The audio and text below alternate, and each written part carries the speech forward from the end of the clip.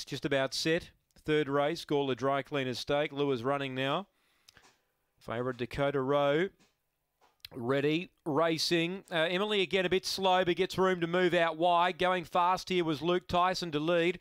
Uh, Daniels Loza right with it. Emily again's right there, third. Can rail up here if it likes. They're about six in front of Abel.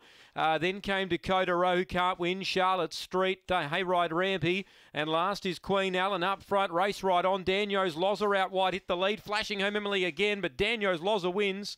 Now, Luke Tyson in the middle will nudge out Emily again for second.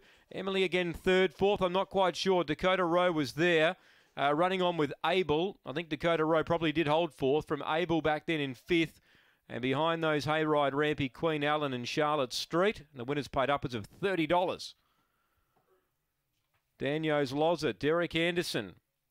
Outside the leader down the back. Got the better of Luke Tyson. Emily again was trying for the inside run.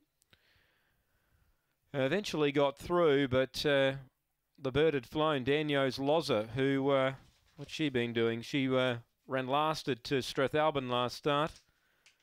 And then she ran second there behind Mr. OK two starts ago. So hard to have on form. But uh, she's found the line first at 30 odd dollars.